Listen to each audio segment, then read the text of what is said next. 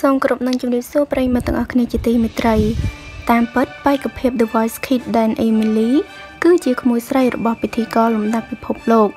រូបនេះសោះចាគឺជាក្មួយរបស់នរណាឥឡូវយើងតាមដានព័ត៌មាននេះទាំងអស់គ្នាការប្រឡងចម្រៀងកុមារលំដាប់ថ្នាក់ពិភពលោក The Voice Kids រដូវកាលទី2វគ្គ The Portal កាលពីសប្តាហ៍មុននេះមានក្មេងៗជាច្រើនរូបដែលសុទ្ធតែមានសមត្ថភាពខ្លាំងដើម្បីឈានទៅកាន់វគ្គ Live Show តែបេក្ខភាពខ្លះទៀតមិនទទួលបានជ័យលាភីនោះទេជាក់ស្ដែងគេសង្កេតឃើញកូនក្រុមកញ្ញាសុវិសាប្អូនស្រីដែនអេមីលីគីលីសានិងអ៊ំឆេងយុតកាបាននាំគ្នាបញ្ចេញសមត្ថភាពយ៉ាងអស្ចារ្យនៅក្នុងការប្រឡង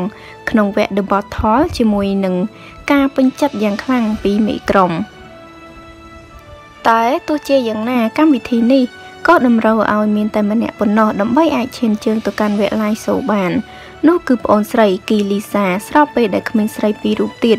មិនអាចឈានទៅវគ្គបន្តដោយឡែកបងងាកមកនិយាយពីប្អូនស្រីអេមីលីដែលជាក្មេងស្រីឆ្លាតនិងគួរឲ្យស្រឡាញ់សម្លេងពីរោះគួរឲ្យសរសើររូបនេះវិញក៏មានការសោកស្ដាយមិនធម្មតា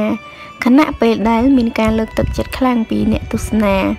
ក៏ប៉ុន្តែអ្វីដែលគេចាប់អារម្មណ៍ជាងនេះទៅទៀតនោះ គឺគេត្រូវបានដឹងថាប្អូនស្រីគឺជាក្មួយស្រីបង្កើតរបស់ពិធីការនីដ៏មានប្រជាប្រិយភាពនិងលំដាប់ថ្នាក់ពិភពលោក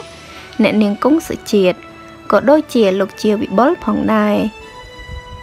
ទន្ទឹមនឹងដំណឹងមួយនេះផងដែរទៅដឹងថាបេក្ខភាពវ័យក្មេង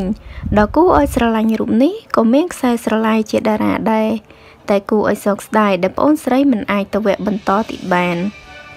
ចាការពិត ប្អូនស្រីដែនអេមីលី គឺជាក្មួយស្រីបង្កើតរបស់ អ្នកនាងគង់សុជាតិហើយនឹងលោកជាវិបុលផងដែរចាហើយក៏ពិតជាសោកស្ដាយមែនទែនដែលប្អូនបានធ្លាក់នៅក្នុងកម្មវិធី The Voice Kids រដូវកាលទី2នេះក្នុងវគ្គ The Bottle ចាតែយ៉ាងណា គឺកម្មវិធីតម្រូវឲ្យតែ